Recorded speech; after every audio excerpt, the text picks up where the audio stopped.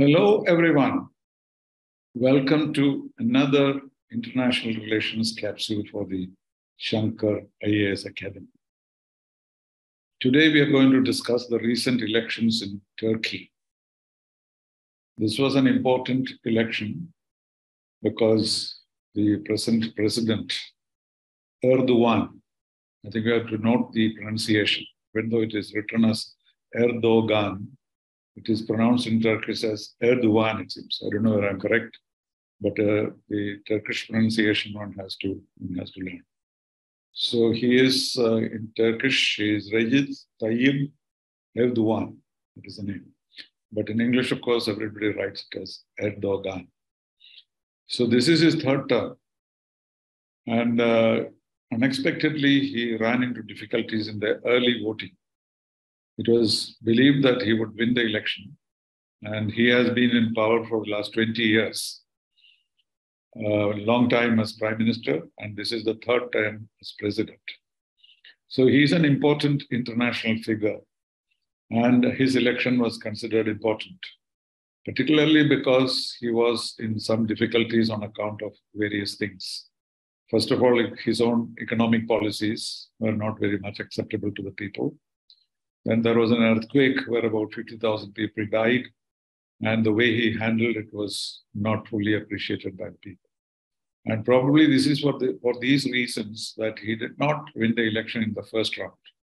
So he had to then go to a, what is called a runoff election. But in the runoff voting, he, he won with a big majority. In fact, he got 50, 52% of the, of the votes. So this was being watched by the entire international community because Turkey is an important country. Uh, but his own ways is increasingly, um, you know, uh, non-democratic in certain ways, and uh, his policies were not widely appreciated. And also, he, even though it is a member of, he is a member of NATO. Turkey is a member of NATO, but he has had his special positions on various issues. So what happened was, in fact, uh, today, uh, the President of the United States congratulated Erdogan, and uh, immediately he raised an issue. Both of them had two issues to talk about. Erdogan said, What happened to my F 16 aircraft? He has been trying to buy F 16 aircraft under the NATO arrangements from Turkey, and that is being delayed. He is very much irritated by that. So the first thing he asked the President of the United States was that, how about my F-16 aircraft? But in reply, the President, though he was not negative about it, uh, but he said, how about the membership of Sweden in NATO? So this is, this is an issue. And immediately, as soon as he was elected, both these were projected. And the briefing from the White House indicated that there were these two interlinked issues. So unless Turkey agrees to the membership of Sweden, uh, it looks as though the United States will not be willing to provide F-16 to Turkey. So it's a live, uh, live kind of debate. And both of them agreed to discuss this further.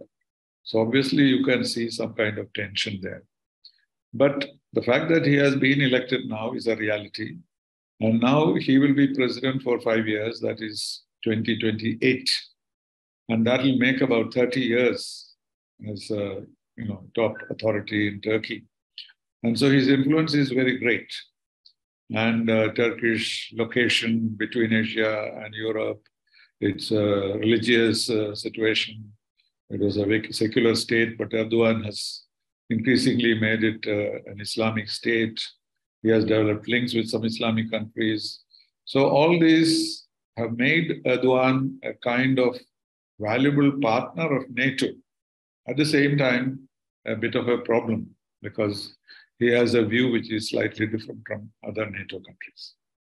And um, in the in the war also, the Russia-Ukraine war, he has been taking some kind of a neutral position rather than supporting Ukraine entirely.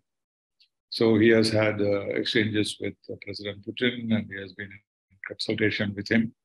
So, in other words, his victory is, of course, was, was inevitable. In spite of the problems that he had, he got a, a good majority.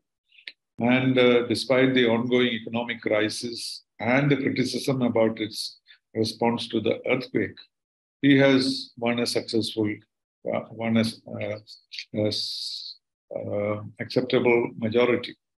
So he has already become the longest serving leader in the Turkish Republic because he will be president till 2028.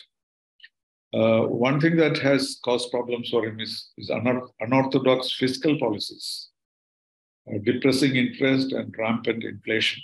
And that has affected the people. But still, he got a 50% of the runoff elections.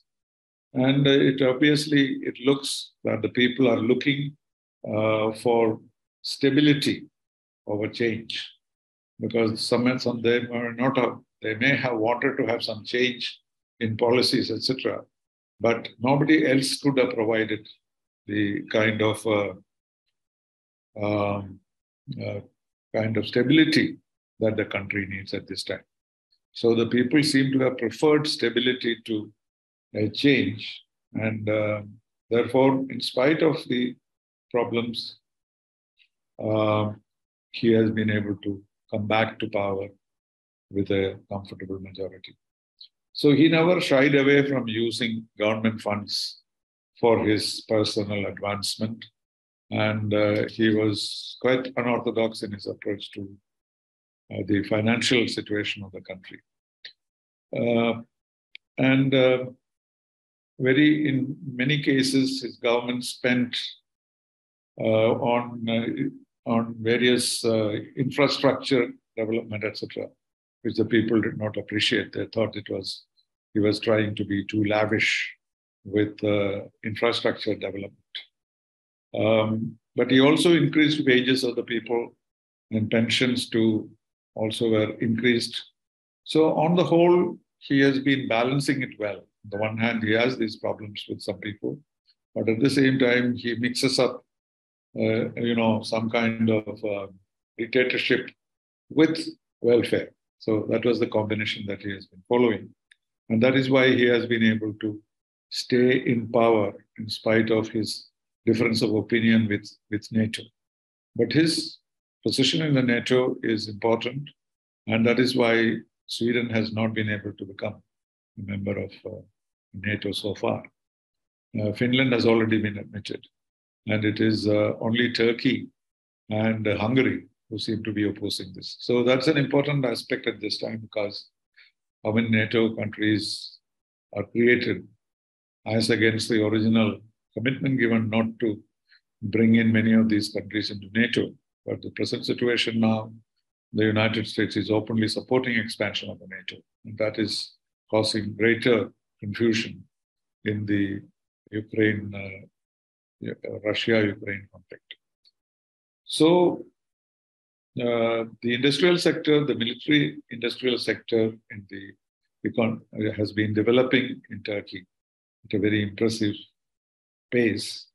And uh, this development has been a point of pride for Turkey. And uh, this is considered as part of the strength of the, of the country. That they have developed a very impressive military industrial complex. And uh, that is why they want to strengthen it more, acquire more planes and more uh, lethal weapons, etc. Uh, because Turkey is following a rather independent policy and it would like to project a kind of power in uh, Europe itself. Of course, in Europe itself, Turkey is not a major country. Uh, but since it's a member of NATO, basically an Islamic country, all this add some flavor to the um, to Erdogan's uh, uh, presidency. And uh, he is also very proud of frequently used and domestically produced drones, which has been added to the fleet, military fleet of um, Turkey. And that is a matter of pride for him. And he's also been a significant player on the world stage. He's always in the news. There was a coup attempt against him and it was felt that uh, you know he would fall, but he was able to manage very effectively, and in spite of the uh, seriousness of the crisis, he was able to you know, overcome it and continue as president. And that also has added certain amount of pride and uh, strength to him. So, in, on the world stage, he has been very active in dealing with the international issues. He has tried to develop his own Islamic group, which was not very successful. In NATO, it, con- it controls the second largest army. So it's not a small small power inside NATO, and uh, so he is considered as an indispensable, but at the same time problem troublesome NATO ally. That is his stature.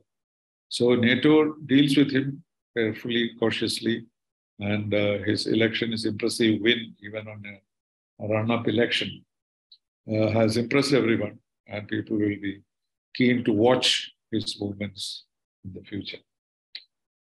Um, in, um, so he has held up Sweden's, as I mentioned, entry into NATO and uh, purchased a Russian missile system. I think it is like the ones that we have purchased as the S-400 missiles. And uh, United States does not like people to buy the missile system from Russia and the United States was at one time threatening to veto it in some form. But, uh, but in the case of uh, Turkey, it was even more difficult because uh, Turkey is part of NATO. So United States would not like the Russian missile to be in, inter, inducted into the uh, NATO system in uh, Turkey. So, in fact, in the case of India, it is not there; it's an independent purchase that we have made and therefore they seem to have accepted it, even though there are some difficulties because of the current war. Um, but in the case of uh, uh, Turkey, uh, United States was even more difficult about the about the missiles. So, you know, on top of it, Turkey is now out to get a US-led led fighter project, and that, so they have been excluded from that fighter project because he has bought a Russian uh, missile system. So, one of the things that he did during the Russia Ukraine war uh, was to negotiate a deal with the support of the United Nations to resume shipping grain through the Baltic seaports in uh, Ukraine, because Ukraine has been supplying grain to much of the world, and it was held up and it was creating confusion not only in the markets abroad, but also within Ukraine itself. So it was a necessity to get these grains out, and he managed to do that. So, uh, and also involved with the United Nations. And that has been a success story, and there was basically a good contribution that he made uh, to the crisis in, uh, in, in, Ukraine on account of the lack of uh, ability to export export grains. So he has been playing a role, very effective role in some issues relating to the war. And also he is now acceptable as a kind of mediator because he's uh, not on one side very strongly, even though he's a NATO member. And therefore he has some flexibility in acting. But he has deep loyalty from conservative and religious supporters. And that is his strength. First is military strength, which is impressive, and at the same time, conservative and religious supporters. And um, uh, he has been following a very conservative policy with regard to the social norms in that country. So, though on the one hand, he's been, you know, helping himself uh, with power and also enjoying the facilities that is available to the head of state, uh, he has very strongly supported religious sentiments. And also, he has tried to build religious and Islamic linkages with like Turkey and Iran and Pakistan and so on. So, this is the kind of role that he plays. On, um, on women and uh, the issue of uh, wearing of headscarves in schools and offices, etc., he has changed the rules in the sense that uh, they are not compulsory and it has been left to the people concerned. And same is the case with uh, transgender uh, rules and regulations. He has been very strict about it, unlike in other parts of Europe, where people are liberal about uh, lesbians and gays, etc., their behavior in the society. So here he is very uh, conservative about it, and that has pleased a large number of people in his own, his own country. Um, one other thing he did was, which created uh, waves around the world, uh, was the conversion of the famous Istanbul's uh, cathedral, Hagia Sophia, into a mosque after many years. So it was a museum for decades, and uh, he uh, very strongly intervened and turned it into a mosque. And this was this created a lot of reactions around the world uh, but he has not uh, conceded that. And so it is not a museum anymore, it is a, a serving mosque. And as I mentioned, also this question of, uh, of the LG, the, the lesbian and gay movement. And um, because he considers that a threat to the traditional family loyalties, etc. So there again, he has a position slightly different from other countries in Europe. And he's taken total control of the media, and uh, there is not even a pretense of uh, uh, free speech. And um, generally, it's also believed that even though the elections went through the normal uh, procedures, normally certification is uh, uh, that um, um, you know something this determination is made normally whether an election is free and fair. So, but the assessment made by the observers is that elections were free but not fair, in the sense that he seems to have manipulated voting situation or counting various things. So it is not a clean chit that he has been given. Says that it is a free election but not fair election.